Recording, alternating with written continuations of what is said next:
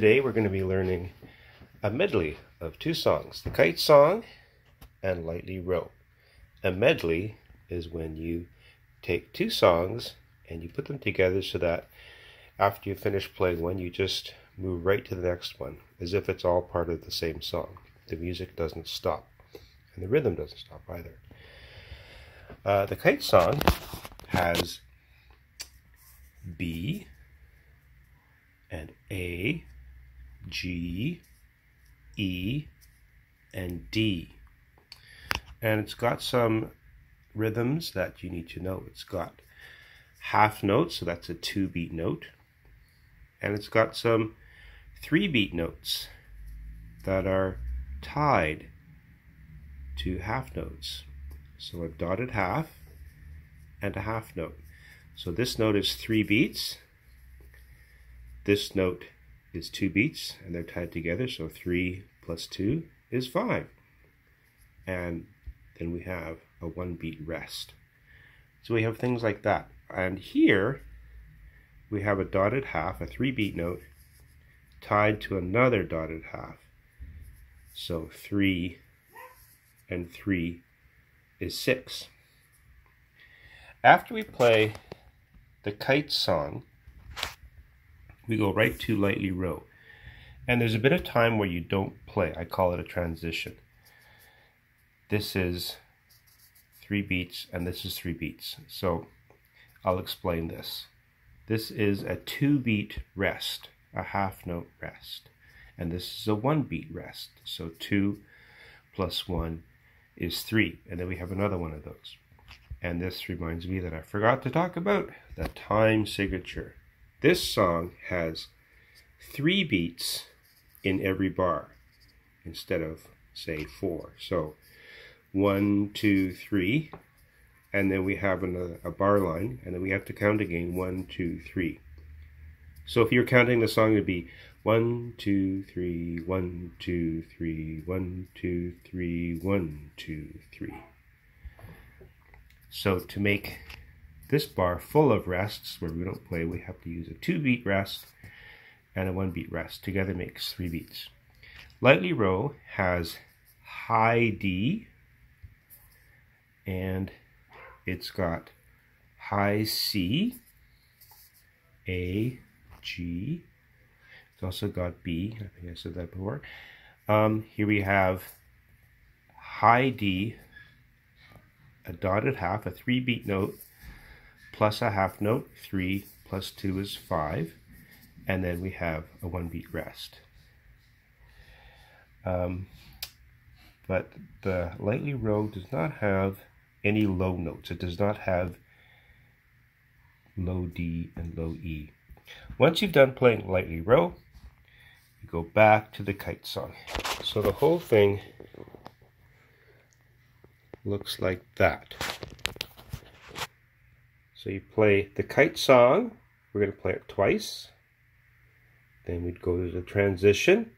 Then we play lightly row all the way to the end. And then you go back and play the kite song once.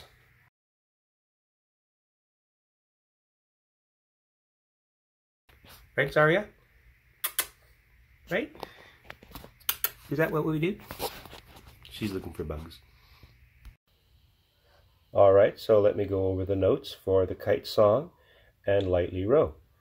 The lowest note is D, that's three and three. Remember, you have your thumb on the back hole. So D, take this finger off, that's E.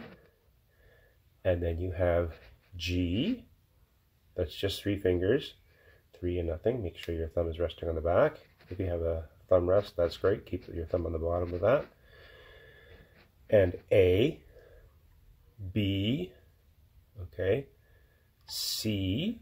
So to go from B to C, you put your second finger on while taking your first finger off. Keep your thumb at the back. Okay, and then to play high D, you take your thumb off.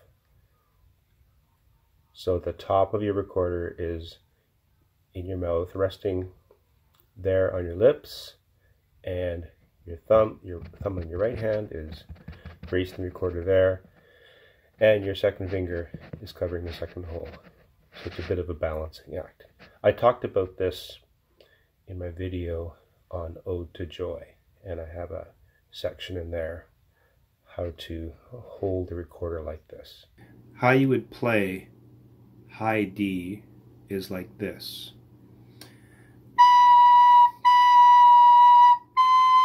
You have your first finger, take it off, put your second finger on, and that's C. Then to go to D, high D, you take your first, your thumb off. So you see how I have it propped against my chin? Like that. Uh, some good places to stop and catch your breath are at the end of this line, at the end of this line with the rest, at the end of this line, and at the end of this line. If you want, you can count three beats, make this a half note, two beats, and then pretend there's a rest here, and you'll you'll be good. It's the end of a phrase anyway, so when you repeat this song, when you play it twice, and you get to, to here, oops, it's in a tree. So rest and take a breath at the end of this bar. Then you got time to breathe in here. For a lightly row, um, I would try to go all the way to here with a breath, but if you can't, I would take a breath here. This is a new idea here once you finish that note.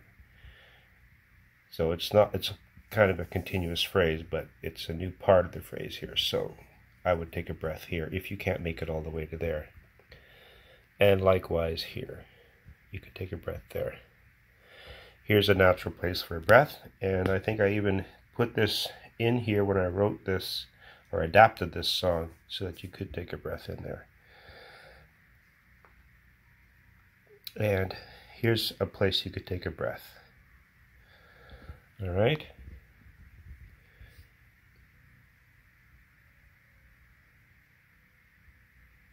Also here and you can make it all the way to the end.